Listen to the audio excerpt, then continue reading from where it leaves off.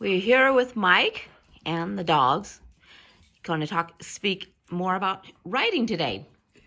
Today's topic is fight choreography in comics. Uh, comics are uh, the most forgiving medium in the world. You can get, get away with stuff in comics you couldn't in any other medium.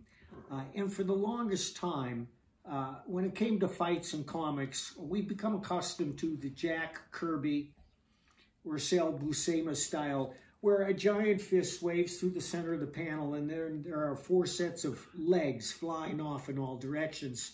Uh, but today, when we're uh, involved in technique, uh, people want to see more intricate fight sequences in comics. I know I always did. And that's why I take special care to choreograph my fight sequences very carefully so that they unfold in a dynamic and realistic manner that the reader can follow. Uh, and by that, I mean, I'll devote several panels to a technique because that's what makes, especially when you're dealing with a martial artist like Batman or the Badger, uh, that's part of what makes the comic unique, is to see actual fighting techniques uh, that are both exciting, realistic, and dynamic. Uh, and what that means is it's more than just a, uh, a punch or a kick. Uh, I like to show things like uh, joint locks and takedowns uh, in judo and jujitsu, chokeouts. You have to show the technique properly. And you do that by moving from panel to panel. But before you do that, every page must have an establishing shot.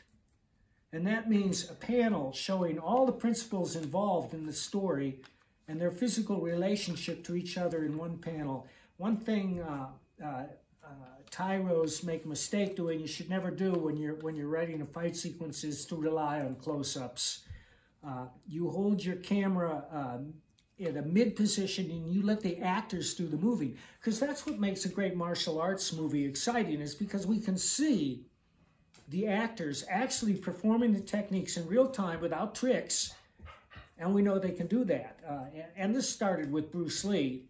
Uh, and today I'd say there's there's no better example of this type of filmmaking than the Ip Man movie starring Donnie Yen.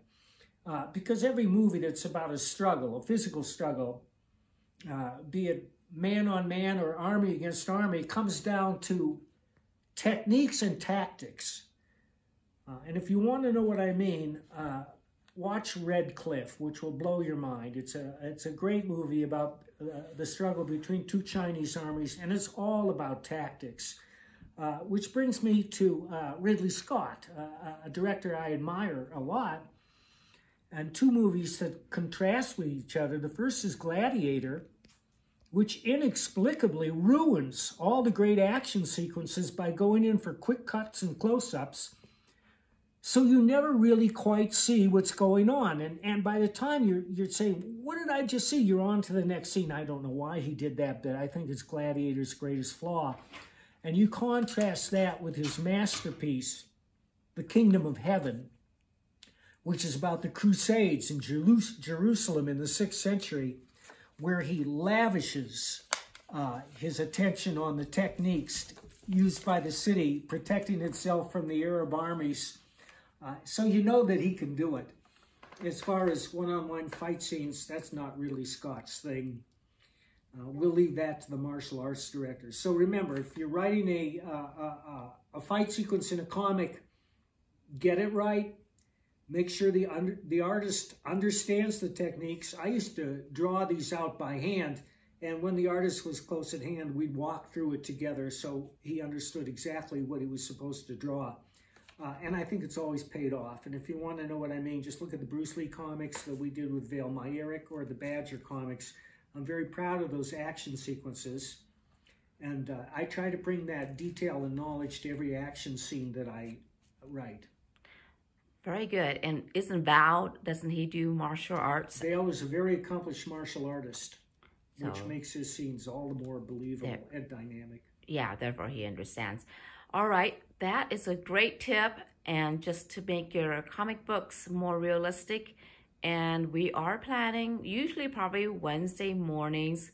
We don't know, depends. A lot of times things rotate around these darn dogs' schedules and when they think things need to happen. So Freddie with Bob, yeah, Freddie, they have a schedule going to the dog park every morning at a certain time. So it's like an alarm clock. So this is what Beggy, uh, Freddie is saying. We need to go to the dog park. Anyway, thanks for watching and we'll plan on uh, doing these videos on Wednesday morning. Appreciate it. Have a good one.